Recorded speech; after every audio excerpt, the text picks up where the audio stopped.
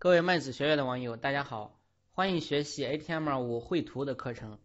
那 HTML5 绘图呢，属于 HTML5 里边的一部分。那这个课程呢，只给大家讲 HTML5 绘图的这个 API。那这一小节呢，我们看 HTML5 绘图的基础。在 HTML5 以前的时代，前端开发者是无法在 HTML 页面上画出动态的这个图片的。那如果要想在前端页面画出动态的图片，我们就需要服务器，就是后端的服务器来生成什么的图片，不断的改前端的这个图片这个 DOM，DOM 的 SR 来改这个什么的图片，这样才能做到什么呢？动态。但是 HTML5 的出现，就 HTML5 的出现改变了这种局面。HTML5 出现增加了一个 Canvas 的一个呃元素，就增加了 Canvas 元素。这个元素呢，相当于一个画布。我们通过 Canvas 可以得到一个 Canvas 呃 Rendering。呃，context 2D 这样一个对象，那这个呢就是 HTML5，也就是 JavaScript 提供的一个对象。那这个里边呢就封装了很多画图的 API，比如说有画线的、画矩形的等等，提供了这样的 API。那 HTML5 我们主要的画图主要就用什么呢？呃，这个对象它提供的 API 来完成什么呢？画图。所以学 HTML5 的这个画图，主要学这个对象的里边方法的这个方法属性的用法。那我们再看如何在 HTML5 上进行画图，分为三步。我们第一步要得到 Canvas 的 DOM 对象。那 Canvas 呢，就是个 HTML5 的标签，它有 width、height 这样的属性。你把它当成一个空白的画布。我们第一步要得到它的什么呢？DOM 对象。第二步，我们调用 Canvas 对象的 getContext 的方法，就得到一个 Canvas Rendering Context 的对象。那么第三步，我们调用这个对象的 API 来进行什么呢？画图。好，那么接下来写一个简单的程序给大家看一下。在写这个程序之前呢，首先给大家讲，我们学 HTML5 画图的时候，我给大家说一个 API，大家去参考。比如说我打开这个，打开我们的这个火狐，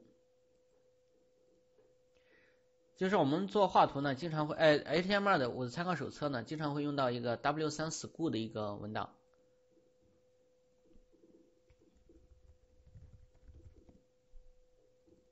好，我们搜索一下 W 三 School。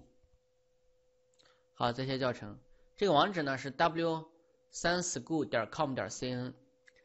那我们可以看一下 HTML5 的这个教程，这个教程里边呢，其中有 HTML5 画图画布。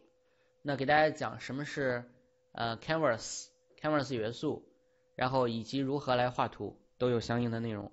好，把内容稍微放大一点。好，那我们现在写第一个画图的程序。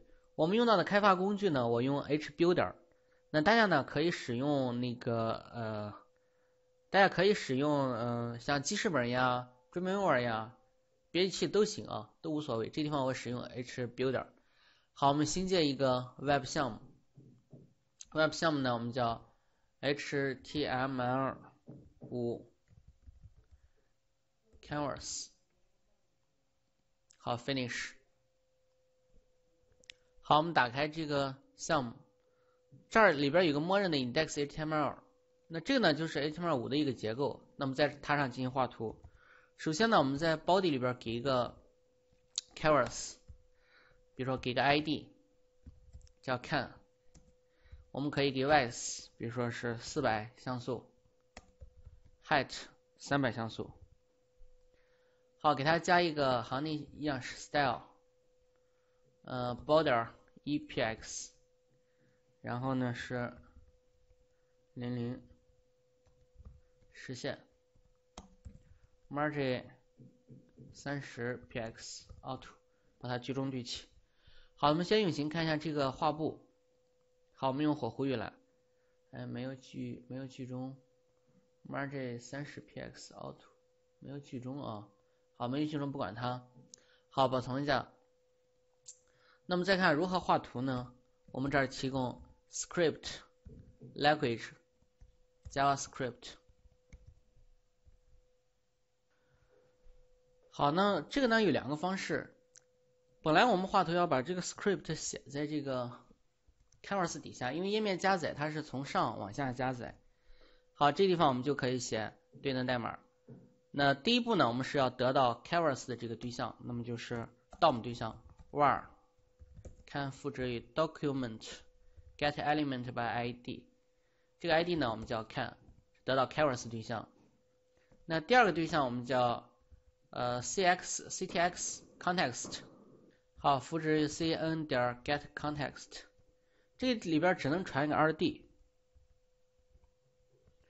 好，这样的话第二步就得到我们的嗯 canvas rendering context 2D 这样一个对象。那么调用这个对象的 API 进行什么呢？画图。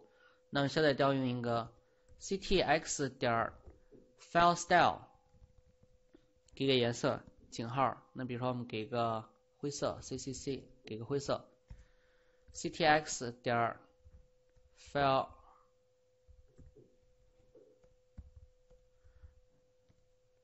好，这地方有四个参数，第一个是横坐标五十，纵坐标五十，宽度一百，高度六十，画个矩形。好，我们运行一下这个程序，看一下结果。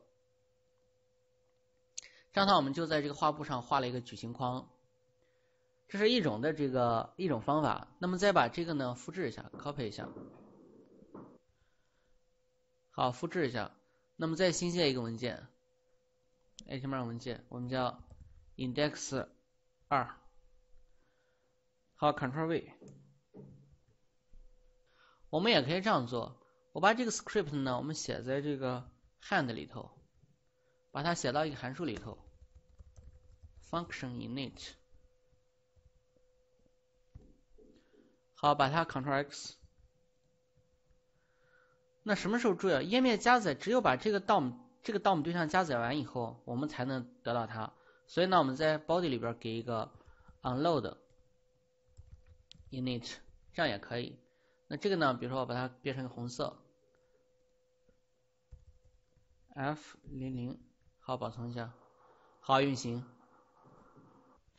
好，这样就变成一个红色的矩形框。好，这一小节呢，我们就讲到这儿，给大家讲画图的最本基本方法。基本方法就是。我们在界面上给一个呃 canvas 元素，然后通过得到 canvas DOM 对象，通过 canvas DOM 对象得到 canvas rendering context 2D，然后调用它的相应的 API 来进行画图。那后边课程我们详细会讲给大家讲这里边具体方法的这个用法。好，这一小节我们就讲到这儿，谢谢大家。